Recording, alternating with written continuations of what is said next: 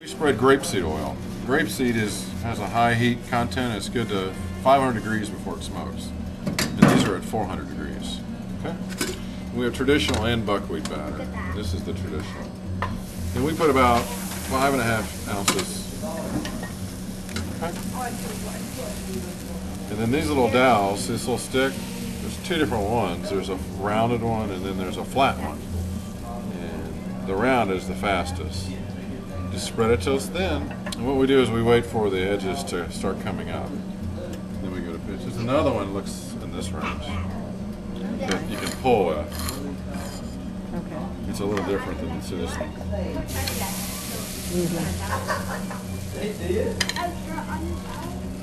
And then we're gonna do sugar and butter for you. Do you want to try Nutella and chocolate? Cinnamon sugar. Cinnamon sugar and butter. There you go. She wants a cinnamon. Oh, you do? I was gonna and then we'll send you off with a. You see, you can you can see it's transparent. See how thin it is? Mm-hmm. You see the paddle mm-hmm. underneath there.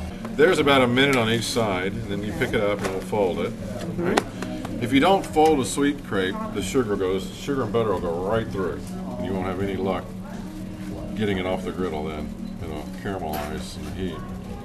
You spread a little bit of butter, and this is cinnamon and a sugar mixture.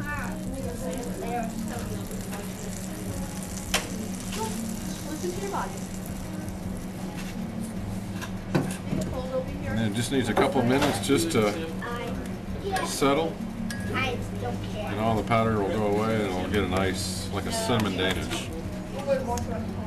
And the reason it's folded in a triangle is these sleeves here, paper sleeves. Right. If we were, if you were going to walk down the street with this, we would stick a point down in there. See that? Oh, okay. You just eat it out of the paper bag. there.